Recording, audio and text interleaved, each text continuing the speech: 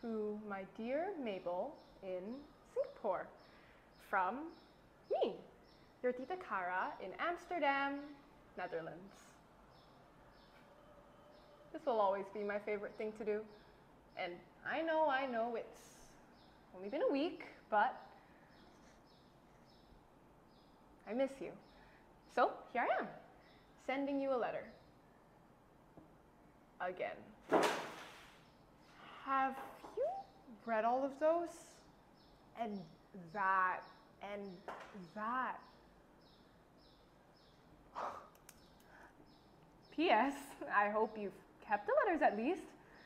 That would be nice. Don't hate me for saying this, but sometimes I'm glad you left. Thank God your family too. No, that way I can get straight into telling you whatever I want. Wait, wait, no, no, no. I, I didn't mean like that. I meant I, I. I'm just glad I have an excuse to write letters again, all right? Of course, of course. I still write mainly because I miss you. You are my favorite family member, you know. Am, am I your favorite? Never mind. Uh, I know, I know, I could definitely just send you a text or call you. It would be much more convenient for you than having to wait months for a bunch of letters, am I right?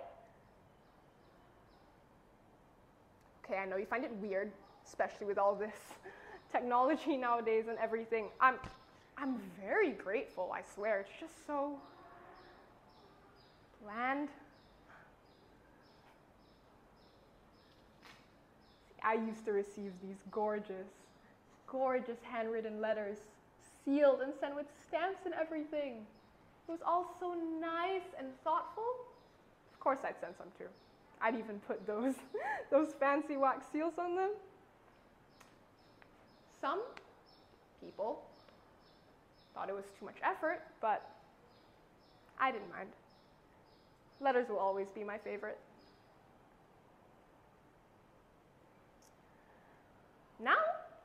All I get are a few short words on a screen. Maybe with an emoji, a heart, or something, if I'm lucky, which I'm not. All that sincerity gone.